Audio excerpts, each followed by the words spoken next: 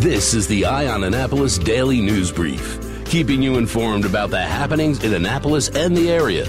Local news, local sports, local events, local opinion, and of course, local weather. The Eye on Annapolis Daily News Brief starts now. Good morning. It's Wednesday, July 10th, 2019. This is John Frenaye, and this is your Eye on Annapolis Daily News Brief. Following up on Monday's story about the shooting at a public pool in Glen Burnie, where one man was killed and two were injured, Anne Arundel County Police have arrested two people in connection with that. During their investigation, they found that a witness had observed a vehicle quickly leave the area. Two males exited the vehicle and hid a gun in the bushes. That witness retrieved the gun and called the police. The police were able to identify the person who hid the gun. He was located and positively identified as Dion Isom Sanders, a 20 year old male from Glen Burnie. He was initially held without bond at Anne Arundel County Detention Center, but has since been released, and he has been charged with a series of weapons violations. In addition, they executed several search warrants, and through some digital evidence obtained from the scene, they were able to identify the shooter. He's been identified as Jacoby Devon Johnson, a 21 year old from Glen Burnie, and he's been charged with first and second degree murder, three counts each of first and second degree assault, along with firearm related charges in the death of James Diggs IV. Johnson was taken into custody about 8:30 on Monday evening by Anne Arundel County Police Department along with the Ocean City Police Department and the Maryland State Police when he was stopped during a traffic stop in Ocean City. He was taken into custody without incident and he is currently incarcerated at the Anne Arundel County Detention Center. Police have said this is an ongoing and very active investigation. They are still seeking information and anybody that has any information should contact the homicide unit at 410 222 4731. But kudos to Anne Arundel County Police for at least getting these two off the streets so quickly.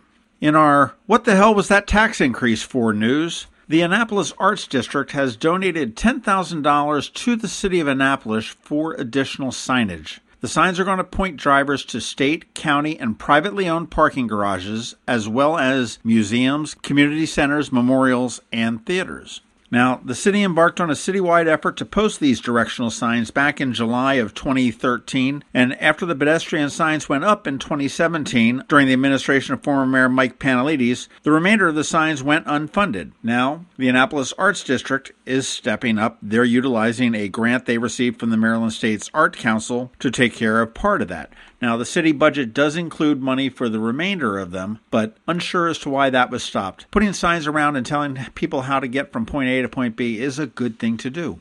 One of the places that should have a sign that if you don't know where it is, shame on you, but Maryland's Banneker Douglass Museum here in Annapolis has just received a $50,000 grant to preserve African American artifacts. It's part of a $2.2 million larger grant system that the Governor's Office on Community Initiatives announced yesterday afternoon. The upgrades are going to allow the museum to properly store and preserve important pieces of Maryland's African American history, primarily its fine art and African art collections. Now, the Banneker Douglass Museum is located on Franklin Street, just off of Church Circle, and it is home to more than 12,000 historic objects, exhibition spaces, and an archives library.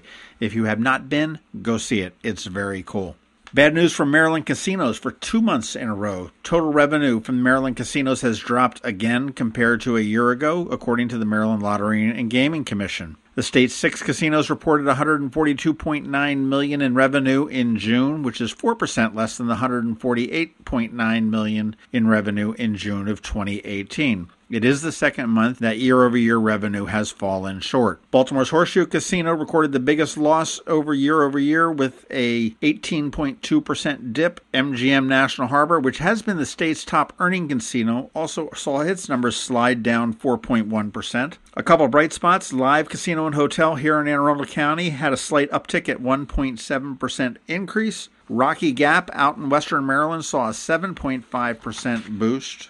And the Hollywood and Ocean Downs casinos saw a decline of 3.9 and 4.8 respectively. All right, that does do it for the top news today. Please make sure you're checking out eyeonannapolis.net throughout the day because we do update it throughout the day. You never know what's going to come down the pike. If you are anywhere you can give us a recommendation or a review online, please do that. That would be much appreciated. And of course, give us a recommendation and a review to your friends and colleagues. Other than that, you need to hang tight. We have George Young with your local DMV weather forecast. He's coming up right after these words about Kegs and Corks Fest which is coming up on August 17th. Get your tickets now. You get in an hour early and they're a little bit cheaper. Hey, it's Gina Crash. Join me Saturday, August 17th for the Kegs and Corks Festival at the Anne Arundel County Fairgrounds. Tickets benefit the Special Olympics of Maryland and include a souvenir glass, unlimited wine and beer samples, plus live music by Amish Outlaws, J. Coursey Willis and the Stone Authors, and XPD Band. Enjoy over 80 Maryland wines, 40 craft beers, incredible food, unique arts and crafts, and more. Go now to kegsandcorksfest.com for tickets. Going out? You need the most up to date local weather.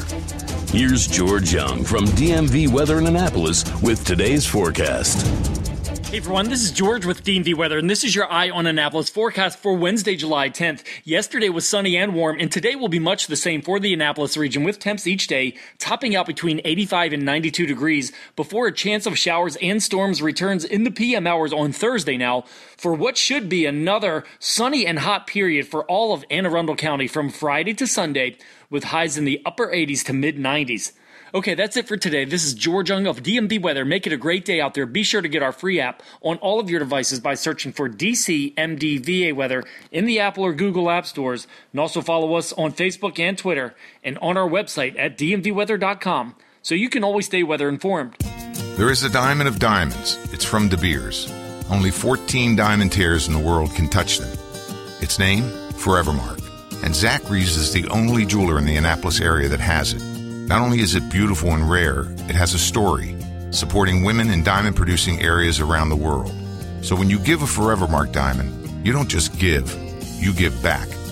Zachary's and Forevermark, a jeweler and a jewel.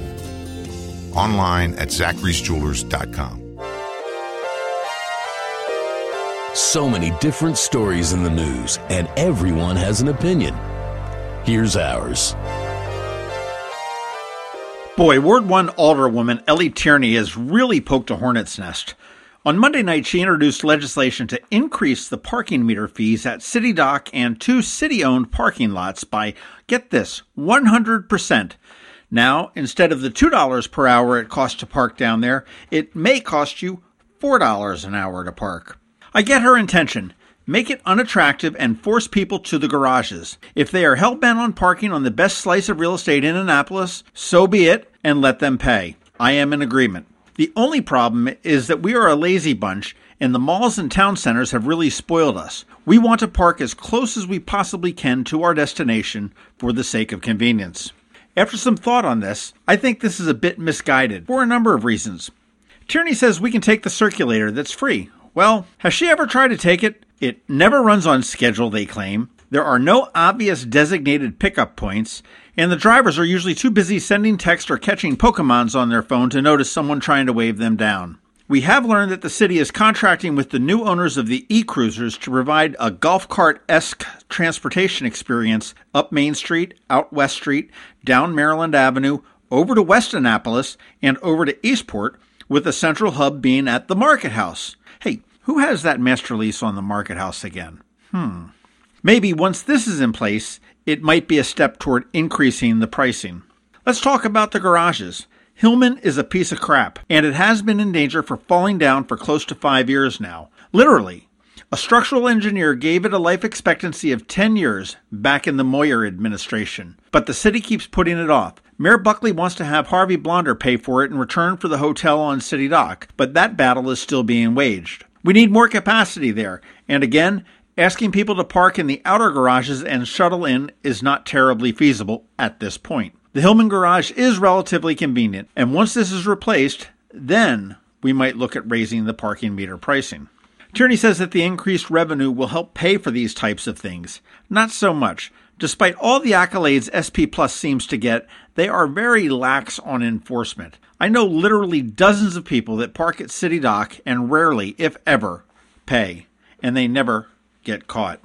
Eric Evans from the Downtown Annapolis Partnership says that increased parking fees will dissuade people from coming downtown, namely locals, and I wholeheartedly agree. If my $5 hot dog at Pip's Hot Dogs is now going to cost me $9, I'm thinking twice about it. My suggestion make City Dock parking free.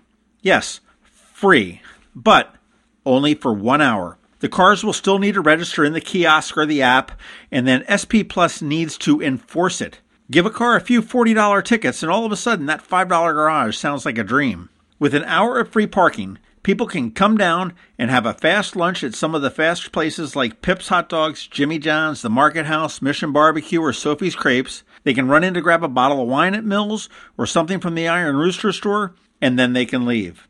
This will give people incentive to come downtown. If they are staying longer, dinner and some shopping, well, let's call it dinner because no stores stay open at night, but that's a different rant for a different day. Or maybe an employee wants to park for his whole shift. Now there is an incentive to use the garages. If Alderwoman Tierney is looking to push cars off of City Dock, again with which I agree, before she does that, she needs to have some place to push them to and also a method of reliably returning the passengers of those cars to their destination. And that's what I'm thinking today.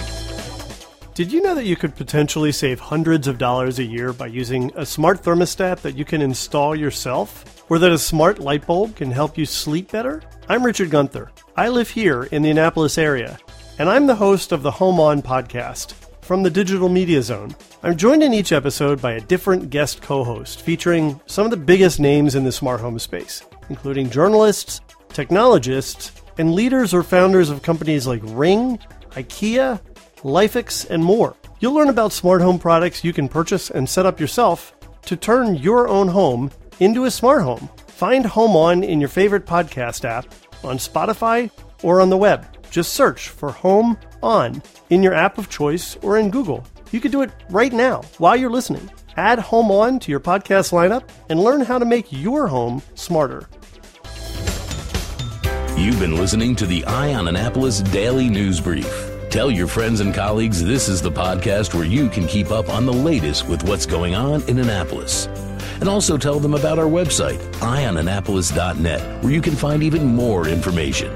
This podcast comes to you every Monday through Friday at 7 a.m., keeping you informed with the Eye on Annapolis Daily News Brief. And take a moment to listen to our other podcast, The Maryland Crabs, released every Thursday at noon.